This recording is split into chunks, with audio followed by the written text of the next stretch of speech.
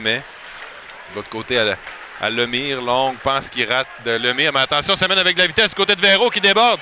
Tente de remettre devant, il n'y avait personne. Là, tu as de l'espace, c'est bloqué devant le retour. Oh, l'arrêt! Finalement, là, tu tires à nouveau, c'est bloqué. Oh, chance en or là, du côté des Huskies. Quelle séquence! Là.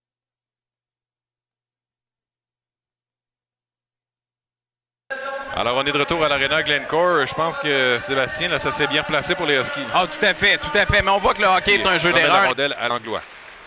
Langlois tente une feinte, voilà qui réussit. Finalement, une longue passe en direction de Véro. Belle passe. Le Véro s'amène, revient, tire, c'est but!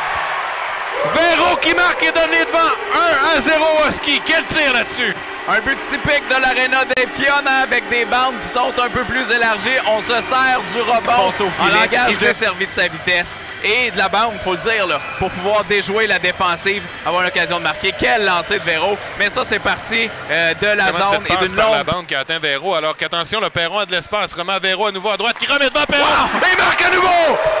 2 à 0 pour les Huskies. Quand je vous parlais de l'importance du premier but dans le hockey junior et dans le hockey en général, et là, coup sur coup, on vient d'assommer les Sea Dogs. C'est une et bonne là, le voyage Sébastien, en fait, de voir Justin Robinson embarquer sur la patinoire Oh!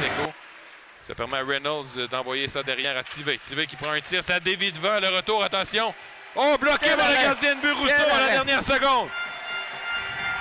D'une équipe qui à l'autre, démonté à 3 contre 2 d'un bord comme de l'autre. Euh, chapeau. Et, et comme tu as mentionné tantôt, le bel arrêt de Rousseau. Ça fait quelques matchs qu'on voit Rousseau, hein, un champion de la Coupe Memorial avec les remparts l'année dernière. Pourquoi les Huskies sont allés le chercher? Ben, tant dans le match d'hier que dans les premiers matchs que là, on voit Rousseau tomber par terre. On Mais voit ça de derrière les défenseurs. C'est Da Silva qui va être là le premier, mais Brunel bataille bien. Oh, Brunel réussit à remettre à Lochko. Lochko qui euh, tente de remettre devant, c'est réussi à Fontaine. Et marque! Louis-Philippe Fontaine qui marque et donne les devants 3 à 0 pour les Huskies. Quel beau jeu de Lochko là-dessus. Oui, Lochko qui euh, montre sa valeur euh, du qui côté des d'un bord comme de l'autre. On connaît la vitesse de Lochko, on connaît ses mains, une passe rapide et euh, finalement c'est maintenant 3-0 Husky. Et là, ce but-là va faire mal aux Sea Dogs. Parce que 1-0, euh, ça fait mal le premier but. Ça a donné un deuxième but rapide en 11 secondes. Mais là, à 3-0, faut fermer les lignes. à Verdon. Verdon qui remet derrière lui. C'est Zonon qui va tenter de récupérer, mais on est aux prises avec euh, Reinhardt notamment. Finalement, Verdon reprend. Va d'une belle fête. Oh, la passe a touché le bâton du gardien de but. Revient devant poteau. Oui. Et finalement, Zonon qui marque.